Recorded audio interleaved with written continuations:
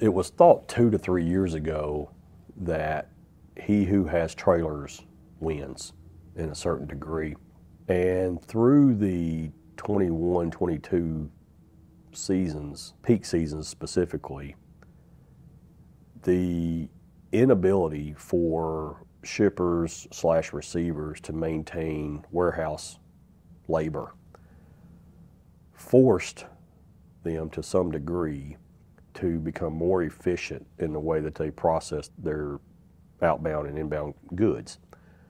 So carriers that had trailers for uh, that could provide equipment at a shipper or receiver, and let the manufacturer or the or the customer take the freight on and off the trailers as they needed was very valuable, very valuable. So we the carriers that had three to one, four to one, five to one trailer ratios to truck ratios became very valuable to those customers because we provided something that a you know that a small carrier with one truck and one trailer could not provide. We provided that ability to maintain their freight somewhere on their yard, either from an outbound standpoint or coming in as a receiving standpoint.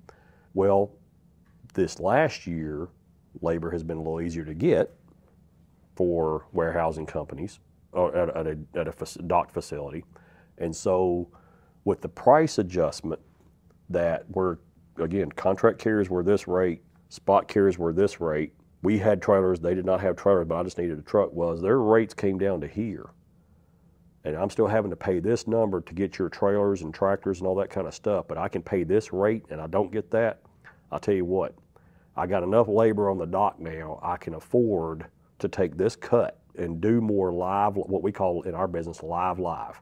Live load, live unload. I don't need as many trailers.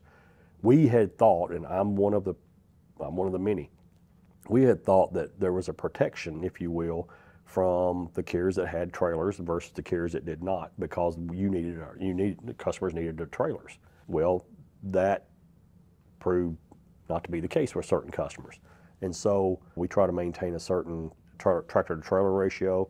We want new trailers, we want new equipment, we want to be on a trade cycle.